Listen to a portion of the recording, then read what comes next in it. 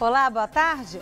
A gente começa o Gazeta News de hoje falando sobre mais um caso de abuso sexual no transporte público.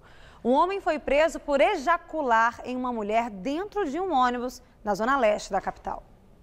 A vítima estava indo para o trabalho quando foi assediada dentro do ônibus. O caso foi registrado como violência sexual mediante fraude. Evandro Quesada, de 26 anos, é auxiliar administrativo e, segundo a polícia, não possui antecedentes criminais.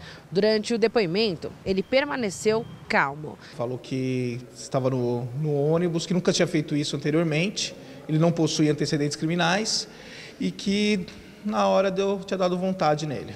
A vítima de 34 anos contou que só percebeu o crime quando algo caiu no pé dela é revoltante, né? Aquela coisa a gente acha que nunca vai acontecer com a gente, né? Então, assim, é, é aquela coisa a gente tem que se preparar psicologicamente, porque eu ainda vou continuar pegando condução, infelizmente, né? Mas fica aquela, aquele trauma, né? Com certeza agora eu vou... vai ser difícil para mim. No Rio de Janeiro, o Comando de Operações Especiais da Polícia Militar intensifica as ações para combate do crime organizado. Hoje, as tropas de elite da Polícia Militar fazem operação na Rocinha, no Alemão e no Vidigal. Essas ações são motivadas por boatos de que o traficante Rogério 157, pivô da atual guerra na Rocinha, estaria nos morros do Alemão ou do Vidigal. Ele disputa a liderança do tráfico de drogas com Antônio Bonfim Lopes, o NEM, que está preso em Rondônia. Na Rocinha, a população vive uma situação de terror desde a semana passada. Com a violência, as escolas continuam fechadas e milhares de alunos estão sem aulas. E o presidente Michel Temer foi notificado hoje pela Câmara dos Deputados sobre a segunda denúncia contra ele pelos crimes de organização criminosa e obstrução à justiça. Agora, o presidente tem o prazo de até 10 sessões do plenário para apresentar uma defesa. Só depois vai ser aberto um debate na Comissão de Constituição e Justiça para a votação do parecer e a recomendação para o prosseguimento da denúncia. E o Senado articula derrubar a decisão tomada ontem pelo Supremo Tribunal Federal que afastou o senador do PSDB, Aécio Neves, do seu mandato. Aécio Neves é acusado de corrupção passiva e obstrução de justiça por pedir e receber 2 milhões de reais da JBS Friboi e de ter atuado no Senado e junto ao Executivo para atrapalhar as investigações. O Tucano alega que foi vítima de uma armação de Joesley Batista e que pediu o dinheiro para pagar a sua defesa na Lava Jato.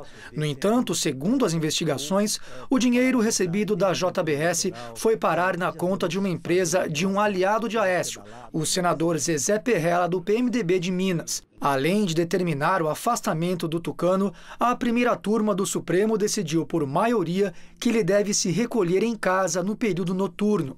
Agora a discussão deve ocorrer no plenário do Senado. Parlamentares já estão articulando derrubar a decisão do STF. Até o presidente da República já entrou na jogada para salvar o aliado. Michel Temer teria tratado do assunto com o líder do governo no Senado, Romero Jucá. O medo do Palácio do Planalto é que a eventual saída de cena de Aécio possa ser usada contra Temer no momento em que ele precisa de votos para barrar a segunda denúncia na Câmara. Para o presidente do Senado, Eunício Oliveira, do PMDB, se a Constituição foi ferida, cabe à Casa tomar decisão. Não é o presidente do Senado que toma a iniciativa, não é o presidente do Congresso que toma a decisão. Quem, quem tomou a decisão, nesses casos, foram os constituintes de 88 que colocaram isso com muita clareza na Constituição Federal. Na primavera, as flores e cores invadem as ruas e amenizam o cinza de São Paulo. E um novo jardim inaugurado na região central é mais uma opção para quem quer apreciar a natureza. E a cidade recebe um novo espaço florido. Para comemorar a estação, o Museu Catavento, Museu de Ciência e Tecnologia, inaugura seu novo jardim, com mais de 10 mil mudas e 28 espécies de plantas e flores. Além disso, a cidade inteira está colorida. O bairro Jardins, que faz jus ao nome, parece um jardim a céu aberto. Seu José trabalha nesse prédio há 36 anos e acompanha a primavera. Linda, né? Fica muito bonita, né? As flores, eu adoro flores. Mais alegre, né? Parece ter mais vida, né? A primavera parece que traz mais vida, né? essa árvore com flores vermelhas que tem o mesmo nome da estação. Já os ipês coloram a paisagem. As cores rosa, roxo e branco fazem o contraste com o cinza e viram um ótimo motivo para andar a pé. E vocês perceberam as árvores mais floridas? É, em qualquer canto, estava até comentando com ela que eu não, não entendo porque tanto, tanta poluição se eu vejo tanto verde ainda. O tempo está mais agradável, está gostoso aqui para no Parque de Ibirapuera, para quem gosta, bem agradável. E tudo indica que a temperatura vai ficar mais agradável nos próximos dias. Vamos ver a previsão?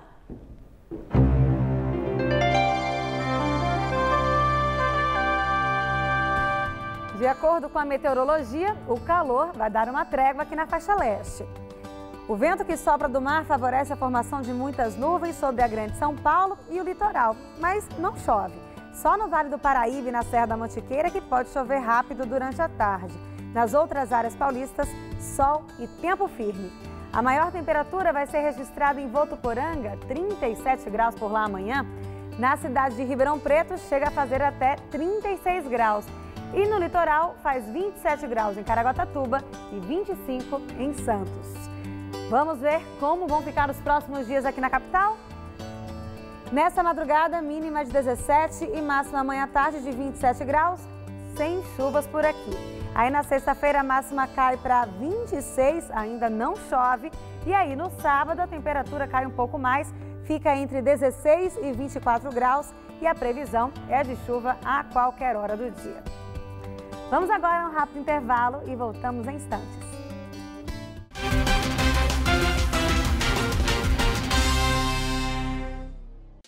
Nossa, você tá com micose. Micose? Que micose essa sua, hein? Micose nas unhas incomoda demais e é esteticamente horrível. Com Clotrimix Esmalte, você elimina as micoses de unha em pouco tempo. Clotrimix Esmalte foi desenvolvido com nanotecnologia, por isso age mais rápido e mais profundo, acabando com os fungos causadores das micoses de unha. Só Clotrimix Esmalte acaba de vez com as micoses nas unhas. Estudos clínicos comprovaram. Imecap Celute reduz a celulites em até oito semanas de uso. Imecap Celute combina creme e cápsulas e age nas camadas mais profundas da pele, quebrando as moléculas de gorduras mais resistentes, onde os cremes comuns não alcançam. Imecap Celute diminui até 80% o aspecto casca de laranja e as ondulações da pele provocadas pela celulite. Imecap Celute, o seu melhor aliado contra a celulite.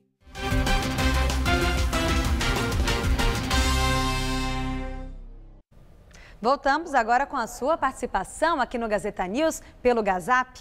Você tem algum problema aí no seu bairro? Então não perde tempo, é só gravar um vídeo de até um minutinho com o seu celular mesmo e mandar aqui pra gente. Hoje a denúncia vem da Zona Sul de São Paulo. A nossa telespectadora Tereza Mendes conta que um orelhão ali na Vila Babilônia, na região do Jabaquara, se transformou em ponto de vandalismo por falta de uso. Gostaria de saber como é que eu faço para vir tirar esse orelhão daqui.